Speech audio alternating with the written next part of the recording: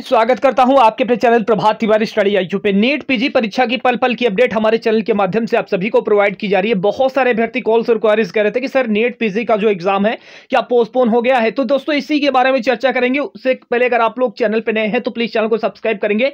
एक बड़ी अपडेट सामने निकल के आई है नीट पीजी एग्ज़ाम को लेकर।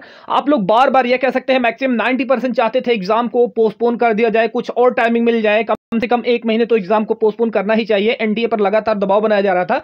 उसके बाद कोर्ट में एक रिट को फ़ाइल किया गया था। तो यहाँ पर दोस्तों, सबसे पहले देखिए, यहाँ पर जो स्टेटमेंट आया है देखिए जो तेलंगाना हाई कोर्ट में जो रिट डाली गई थी, डॉक्टर रोहन कृष्णा की तरफ़ से, ठीक है? इन्होंने कहा है we we have won the battle 99 ठीक है? कहने का मतलब यह है कि इन्होंने 99 इनका मानना है कि हम जीत चुके जीत चुके हैं और इन्होंने कहा है कि हमारा किसी से वार नहीं है, कोई लड़ाई झगड़ा नहीं है, बस हम अपने हक के लिए लड़ रहे हैं, ठीक है? तो कहने का मतलब यह है कि इनके द्वारा बताया जा रहा है कि नेट जो है, यूजी का एग्ज़ाम है ये पोस्टपोन कर दिया जाएगा। लेकिन एक बात मैं क्लियरली मेंशन कर देना चाहता हूँ, एनटीए बिल्कुल भी इसके करने में के मूड में नहीं है, और अभी तक हाईकोर्ट ने भी कहीं ना कहीं दोस्तों राहत नहीं दी है अभ्यर्थियों को, ठीक है? तो कहने का मतलब दोस्तों यह है कि अभी आप लोग का एग्ज़ाम पोस्टपोन नहीं हुआ है और देखना होगा एक से दो दिनों, ठीक है? क्योंकि दो से तीन दिन आप लोगों के लिए बहुत इंपॉर्टेंट होंगे। यहीं से दोस्तों हो जाएगा, अगर कोई एनटीए की मीटिंग होती है, कोई फैसला आता है तो तुरंत हम आपको चैनल के माध्यम से सूचित कर देंगे, ठीक है?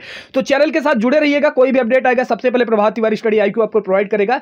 जय हिंद, जय भारत। अभी आप लोगों का नीट यूजी पीजी का एग्ज़ाम अभी पोस्टपोन नहीं हुआ है। जय हिंद।